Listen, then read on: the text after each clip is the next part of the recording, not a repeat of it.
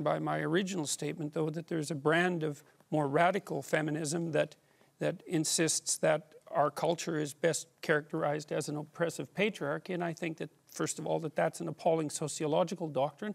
And I think it has very negative psychological effects. Mm. And they won't be limited to men. Because in, if it's true that there's something toxic, let's say, about masculinity per se, what that will ine inevitably mean is that as women adopt more masculine roles, traditionally,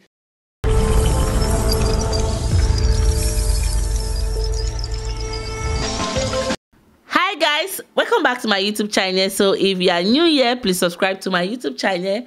So today I'm reacting to Jordan Peterson. I am not anti-feminist. So guys, please let's watch this video together. First thing I would say is that um, I'm not anti-feminist per se. I mean, I think the idea that the world would benefit from the movement of talent from both sexes into the workplace as rapidly as possible is something that anyone with any sense should share, given the rather uh, the rarity of talent and the necessity for for utilizing it. Um, I do stand by my original statement, though, that there's a brand of more radical feminism that, that insists that our culture is best characterized as an oppressive patriarchy. And I think that, first of all, that that's an appalling sociological doctrine. And I think it has very negative psychological effects. And they won't be limited to men. Because in, if it's true that there's something toxic, let's say, about masculinity per se, what that will inev inevitably mean is that as women adopt more masculine roles, traditionally, what is that toxicity somehow going to go away? But that's a so straw man because no one says there's anything toxic about masculinity per se. What do you mean no one says that? The, the term exists. No. No they How is that a straw man? Well, but where did the term a, come from? It's a phrase that's used about forms of masculinity that are harmful to men and women. It's not about masculinity per se. You must know that. I read the American Psychological this. Association guidelines for the treatment of boys and men, and I know perfectly well that this is no strong man, straw man. And it's not only devoted towards what you might describe as the more aggressive ends of masculine behavior. It's aimed at at masculinity in a much broader, in a much broader range of, there's a much broader range of accusations that are underlying, that are under the surface than that. And so I don't see in what way at all that it's a straw. Okay, I'm, I'm, just going to pause that argument for a second and go to uh, Catherine McGregor. And Catherine, I mean, you've you've lived on both sides of the gender fence. So, um, what are your thoughts on on these issues? And just go back to the question that I was raised. I don't know whether that qualifies me or disqualifies me, frankly.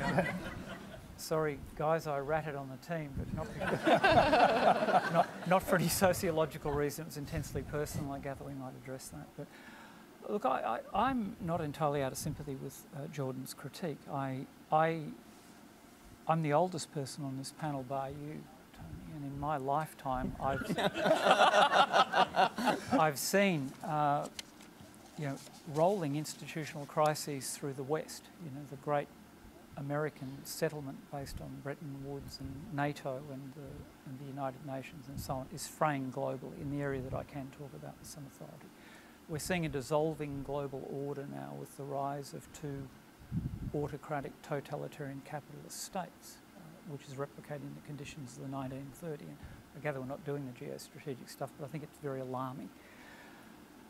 When Robert F. Kennedy, who was my political hero, was running for the presidency of the United States in 1968, he addressed disenfranchised African Americans who were wearing the backlash from, from many white men who were losing their jobs or perceiving that they were losing their jobs.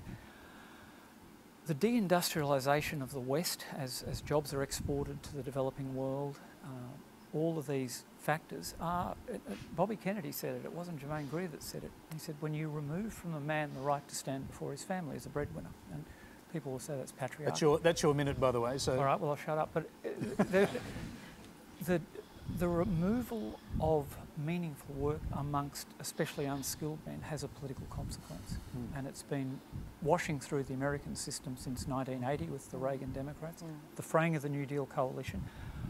I don't entirely agree with Jordan's analysis, but the, the problem can't be gainsaid.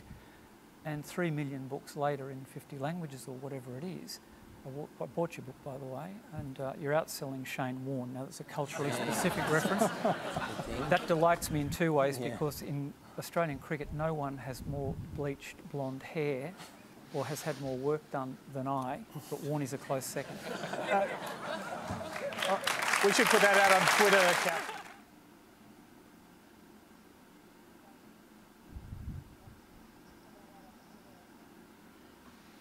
Wow, wow, wow, wow, wow, wow.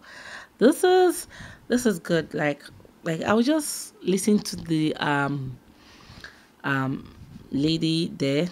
I was just listening to her the way she was she was she's a um guy before now she's a female so like I was just listening to her when she was talking that there's nobody that have gone to procedure more than how she have gone through. Like she just went to like to me, she went for what she wants.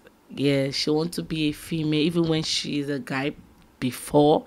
She wants to be a female. She wants to look every bit about female, the nose, talk, the hair, the body, everything. So I feel that um, people go nowadays. People go to like go into in what they want.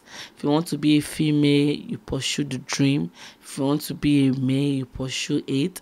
So I feel that this anti-feminist, I feel that when you are um, a feminist, you should know how to um, speak, how to speak, how to talk, how not to talk and disrespect others because I'm a feminist, I'm a feminist, I'm a feminist. No, if you're a feminist, you should know how to talk because if someone disrespects you being a feminist, I'm sure you won't take it lightly with the person. So you just know how to be um, be a good feminist so that you won't be rude to someone else. You understand? Because if um, I can do whatever man can do, I can do whatever man can do.